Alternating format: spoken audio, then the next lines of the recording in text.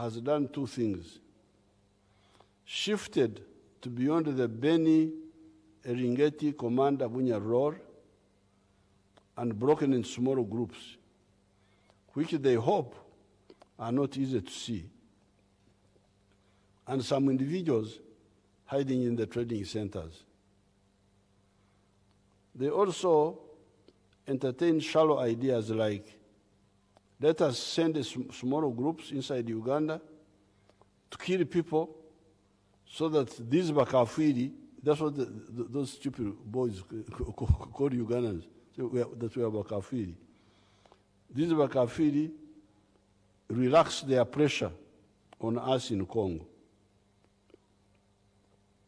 Unfortunately for the ADF, the Wakafiri, the indigenous people of Uganda, regardless of their religions, have enough troops to hunt ADF up to Mbandaka in Congo, if the Congo government allows us, and also guard the rear in Uganda.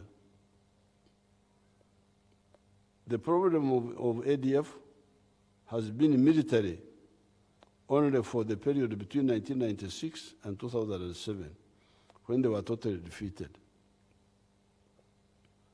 After that, for a long time, in spite of being given free control of big portions of eastern Congo, the ADF problem remained degraded to an intelligence and diplomatic problem. So here, for you to understand Ugandans, I would like to introduce those three, three words. A military problem, an intelligence problem, and a diplomatic problem. Because this is what these three words must be harmonized.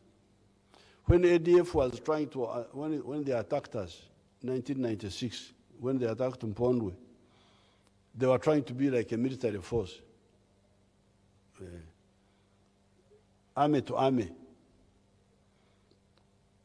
And we quickly destroyed them. So they ceased being a military force now. So, if they are no longer a military force, where you can use military as the solution, what then do they become? They become an intelligence problem. Uh, it is now a problem of looking for.